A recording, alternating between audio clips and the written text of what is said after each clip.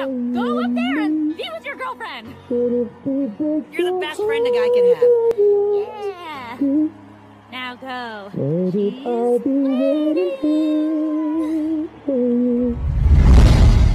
But I guess you look